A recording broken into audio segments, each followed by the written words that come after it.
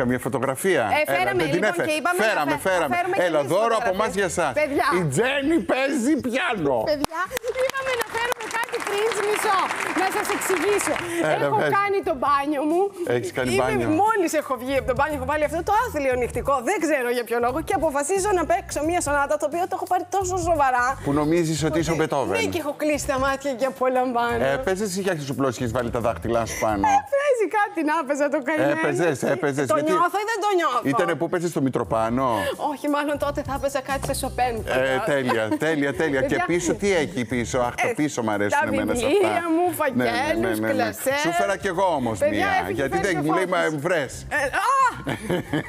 Ο Ρέμπραντ. Είμαστε διανοούμενοι. Τι να κάνουμε σε αυτή την εκπομπή. Ο Ρέμπραντ. Εδώ εσύ που είσαι. Εγώ είμαι στο ατελιέ του θείου μου που ήταν ζωγράφος και έχω πάει ε, να, ε, ξέρεις, να κάνουμε πορτρέτο. Ε, φοράω ένα φουλάρι, Φουλάρι. το οποίο το έχω πάρει από τα εξάρχεια Πάρα και είναι πολύ μεταξωτό ωραίος. και το έχω ποτίσει με πατσουλί. Δεν μπορείς να φανταστείς πόσο βρωμούσα. και επίσης. Ε, Δεν μπορούσα να το γραφίζει ο θείος. Έκατσα και πάρα πολύ σοβαρά. Ναι, γιατί είμαστε πολύ σοβαροί. Εννοείται, Έχεις τότε βάλει έμπαινε το το. καμισάκι, φουλαράκι που εδώ από πάνω. Που... Έμπαιναν τα 80's, αγάπη μου. Δηλαδή, πώς να σου πω, είμαστε τώρα να είναι φθηνό, χειμώνας του 80. Και είσαι στο ατελιέ από πίσω, βλέπω. Και βλέπεις πίσω ατελιέ. Είναι και στα καλα- καβαλέτα όλα. Γιατί διανοούμενη η εκπομπή Έτσι, είναι. και ότι έκατσα Πιανίστες, ε, ζωγράφοι. Ναι, ναι, αισθάνομαι πολύ εδώ, έτσι.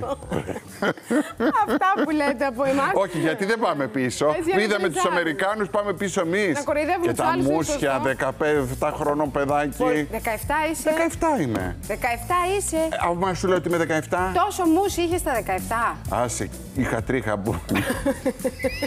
Από μικρό μαλλιαρό ήμουνα. Δεν μας εφέρατε κι εσείς, κύριε Όρσης. Εντάξει, δεν πρέπει να φέρει μια Αχ, φωτογραφία. σε παρακαλώ. Αυτό το... Που κάνετε full screen αυτό που βλέπω τώρα στα βίντεο πίσω. Όχι, μη. Ναι, σας παρακαλώ. Παιδιά, έλα. Εγώ τρέφομαι, Αυτό. φτάνει πια. Έλα, έλα, συνεργάτες μου, έχουμε ξεφτυλιστεί και γι' αυτό το λόγο θέλω ένα χειροκρότημα.